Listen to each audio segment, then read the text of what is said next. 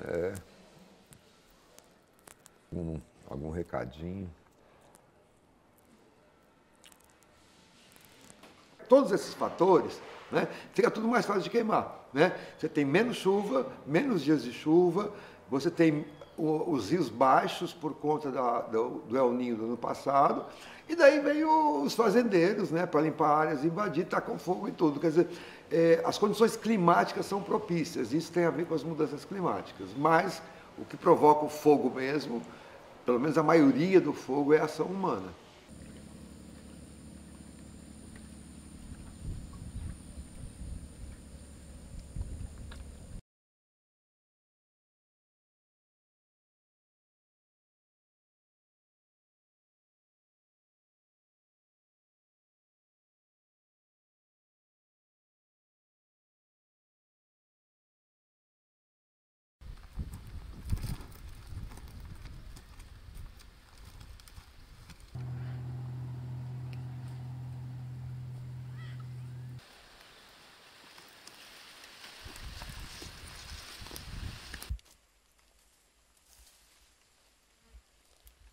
Correu para cá para não. Os efeitos das queimadas para as pessoas e para, os animais, meio ambiente, são muito graves. Né? O primeiro efeito é você matar uma, um número muito grande de animais selvagens que não estão muito acostumados com isso e, e, como a queimada é de uma proporção muito grande, não dá nem tempo deles fugirem, nem tem às vezes para onde fugir.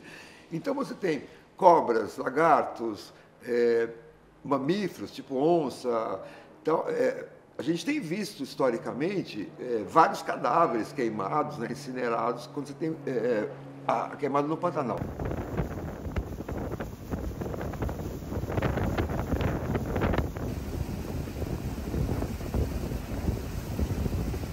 A mudança climática mais as queimadas, eles acabam mudando completamente é, o ambiente, né? E a, e a, longo prazo a redução da biodiversidade, perda de habitat, que os animais selvagens não têm para onde ir, perda de qualidade do solo, consequências para a saúde humana.